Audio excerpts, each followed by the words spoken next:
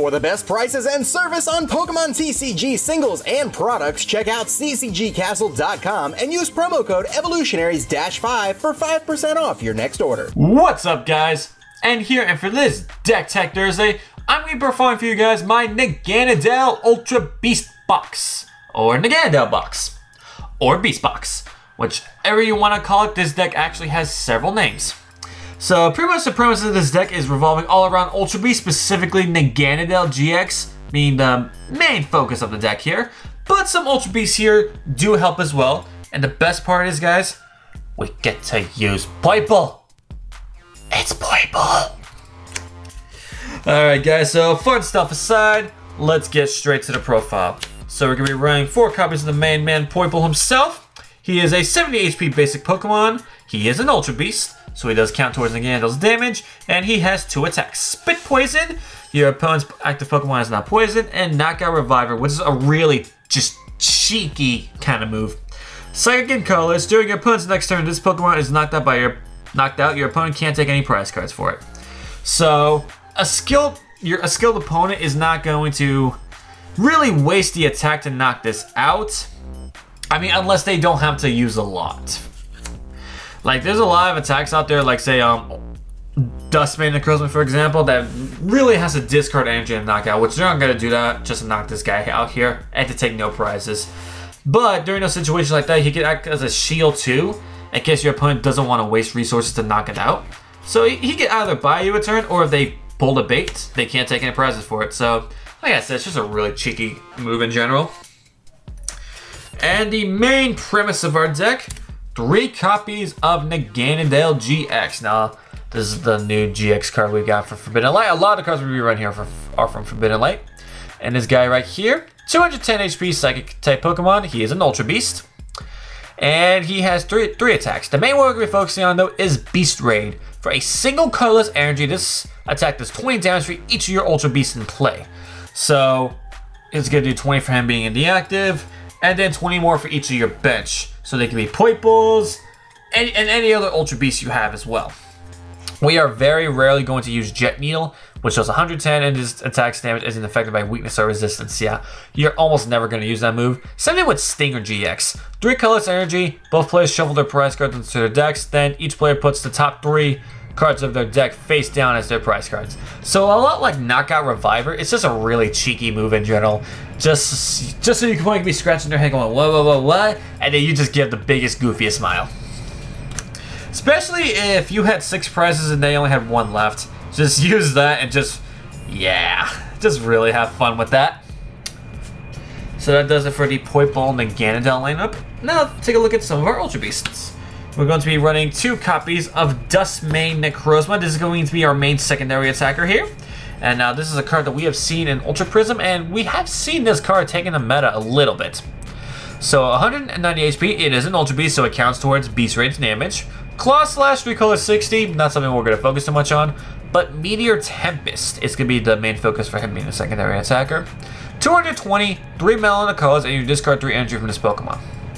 Now, we are not running any Mana Zone in this deck, but since we do have Beast Ring, we do have ways to power him up very, very quickly. So, powering him up is not going to be much of an issue. And we have the GX attack Sun's Eclipse for 3 mana Energy, does 250 damage. I believe this is the GX attack you would use the most often if you end up using a GX attack, just because it's so powerful. But situations rise up where you might need to use another GX attack. So we have plenty of options for GX attacks in this deck. So no need to worry about that. And of course we have one copy of Dawn Wings Necrozma, mainly just for invasion, being able to replace him with your active and then retreat for free with a floatstone. And also he's just really good in the meta right now. Like I knew the day would come eventually where Dawn Wings or a Lunala would be good in meta, and I'm so happy that it's now. So that's it, and there's gonna be two more Ultra Beasts that we run here. Gonna be running one copy of Xurkitree GX and one copy of Kartana GX. So Xurkitree is mainly just for active to buy ourselves a turn or two. Because you go to start with his ability Flashing Head. Prevent all damage done to this Pokemon by attacks from your opponent's Pokemon that have any special energy attached to them. Very, we're not going to worry too much about the attacks, even though we can pull them off. Rumbling Wires, Two Lighting, and a Colorless. you just discard a top card of your opponent's deck, and Lightning GX, your opponent reveals their end, hand, add a card you find there to their prizes. So it's another really just annoying attack. And next up we have Kartana, which is a metal type, so we don't really have to worry too much about the special energy to power him up. But his ability is Slice Off. When you play this card from your hand onto your bench during your turn, you may discard special energy from one of your opponent's Pokemon. So it's a, pretty much essentially a enhanced hammer, but in Ultra Beast form. Gale Blade does 70 damage, and you may shuffle this Pokemon all cards attached to it into your deck. And Blade GX, take a prize card. Probably just the smiliest, cheekiest move you can do. when you have one prize card left and they have like an insane field ready to win, just Blade GX for game. oh man, that will start wars. And last up for Pokemon here, we just run two copies of Tapu Lele just to help search our supporters and stuff. And with that, that will do it for our Pokemon lineup. And next up, our supporter lineup. Alright, next up here, we have four copies of the main gal, Cynthia. Pretty much one of the best draw supporters we have in the game right now. Just being able to shuffle and draw six is just too, too good. Alright.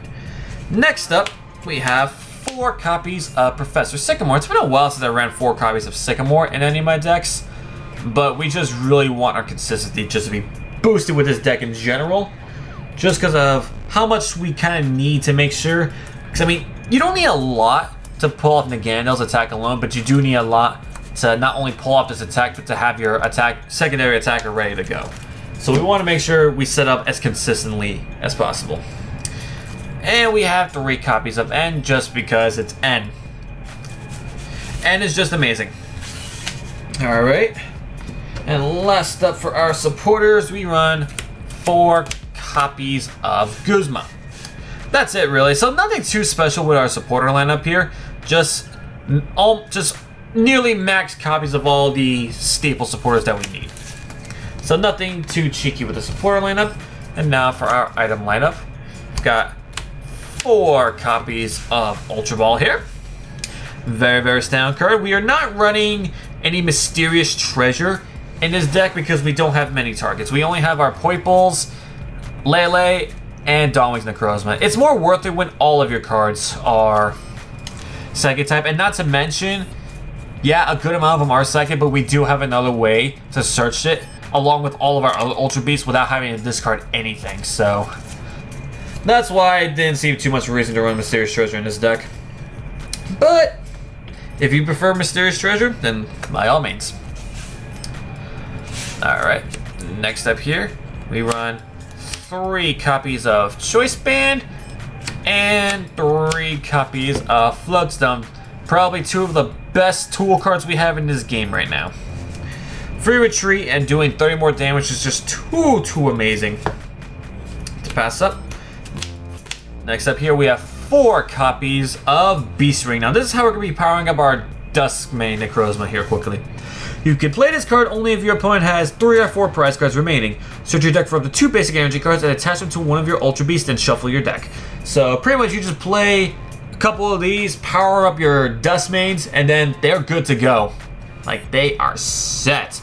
And you only really need to attack with a Dusk Mane a few times because he's not the main focus of your deck. So you set up your Naganadel for the for the main stuff, but when your opponent pulls up the really big guns, that's when you bring the Duskmane to take care of business.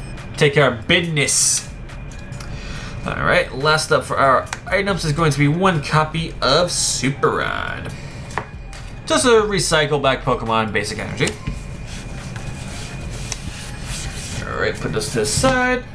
And for our stadium here, gonna be running four copies of Ultra Space. Now this is how we're gonna be searching off all of our Ultra Beasts.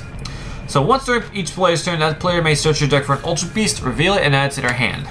So I run four of these just to increase the consistency of us getting this card. Because for Nagano specifically, I would prefer this slightly over the Mysterious Treasure because there are still some things that Mysterious Treasure in this deck cannot get. And I don't want to risk just the luck of drawing into it, even though it could happen. I just want max consistency all around for this deck. So that's why four. Because I notice a lot of lists run three. I just prefer four. Alright, and last but not least, our energy count up. So we have eight copies of basic metal energy, mainly for our Dusk Mane, and our Nagano because the beast. Wow, what's wrong with me? The Beast Raid, there we go. I almost said Beast Bash. I was like, I didn't want to say that though, I didn't want to look stupid. So Beast Raid here is a single colorless energy, so it doesn't matter what that is. We're also going to be running three copies of unit energy, which provides metal, lightning, and psychic. So not only for our psychic and metal type Pokemon here, so we're able to use Naganadel's second attack if need be. We are able to use Xurkitree's attacks because it counts as lightning as well. So yeah, just good coverage all around. Yeah, honestly, this, most of the psychic attacks are colorless. I just realized that, so wow. That almost doesn't even need to be a psychic for it to be relevant here. I guess for the psychic Pokemon, we could use it for Dawn Wings Necrozma to help one-shot things weak to psychic, but we already got Naganadel for that. But Dawn Wings is a basic. So there's your ups and downs with that. And I guess we can still use Tapu Cure as well. But I, have, I don't think I've ever seen anyone use Tapu Cure. But who knows, that could end up winning a game. And we run one copy of Beast Energy. It's a colorless energy, and it's also a Prism Rare. But if it's attached to an Ultra Beast, it provides every type of energy, and it, the attacks of your Ultra Beast do 30 more damage. So, uh, Beast Energy with a full bench of Beast Pokemon, no Lele there, that would be 150. And along with a Choice Band, that's going to be 180 damage for just a single energy. I know that's not always how it's going to go down because you always have to bench at least one Lele, but still, that's still like 160 for just a single energy. That's pretty good. Pretty good indeed.